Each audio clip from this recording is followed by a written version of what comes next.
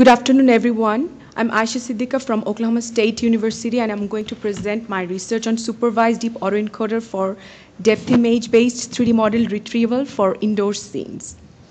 Our, uh, we are interested in retrieving um, 3D best match, depth image-based best match 3D model for indoor scenes. Depth image is the distance of scene surface from a viewpoint from the real depth images, we have used segmented depth objects and uh, retrieved 3D models for those. In doing so, we have faced uh, different challenges of incompleteness, noise, occlusion, and partial view. Uh, the nightstand here are incomplete and partially viewed. The sofa has some missing parts, but still we have to uh, retrieve 3D uh, models for um, these objects. For uh, doing so, we have used data from two different domains. For depth image, we have used NYUD version 2, and for, uh, for, and for 3D model, we have used ModelNet 10, and for one model, we have rendered 95 different depth images, and we have used a total of six, 605 uh, 3D models.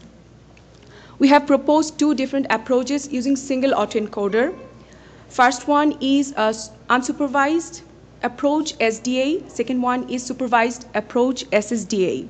This is our general uh, framework for supervised unsupervised approach.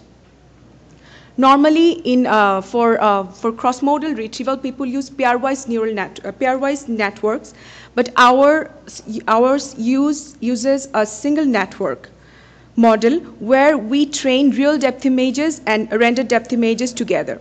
After training, uh, we drop the decoder part and use the 30-dimensional autoencoder feature, and we have used uh, AdaDelta as a solver. Uh, in our unsupervised approach, we used unsupervised autoencoder as feature extractor, and the loss function is a typical sigmoid cross entropy loss function. Um, in the unsupervised autoencoder, we have a four encoder layers and four decoder layers, and to avoid overfitting, we have used a dropout layer after the encoder part. In the supervised approach, after the normal encoder layer, we have uh, we have added a classification network to guide the autoencoder with label information.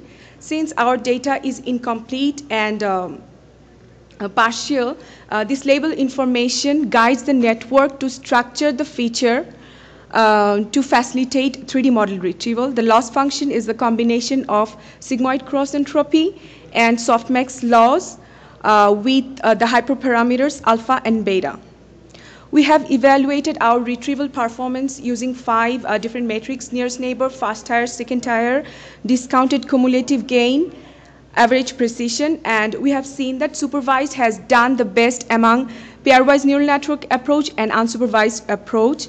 In the five category PR curve, uh, we can see that uh, our supervised approach is doing the best, but for 10 category, supervised is doing better, but still uh, supervised and unsupervised ha has unsupervised approach have similar uh, performance because of shape, increased shape simi uh, similarity and ambiguity.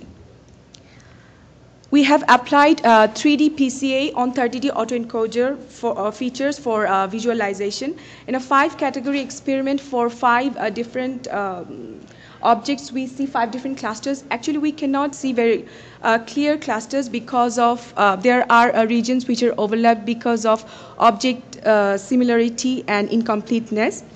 In, for dresser and chair, dresser and bathtub, and dresser and bed, Supervised and unsupervised performance are similar, but for uh, chair and desk, supervised performance is better because it is showing two different clusters. So overall, we can see say that supervised is doing the best. And here we have uh, shown some retrieval examples uh, of desk, bathtub, bed, and dresser. This uh, row is for what the model has retrieved, and this uh, row is for the corresponding 3D models. For bathtub, bed, and dresser, Unsupervised, uh, supervised is doing best, and for desk, actually supervised, unsupervised is doing better. In conclusion, uh, we can say that we have proposed supervised and unsupervised model using single autoencoder to bring 3D model and real depth in the same domain, and we have shown the strength of su supervision by doing classification or reconstruction. Our model is a single model, single network model, and uh, uh, and uh, uses direct image feature rather than handcrafted features and not restricted to an equal number of depth model pair. Thank you for listening and see you at the poster session. Thank you.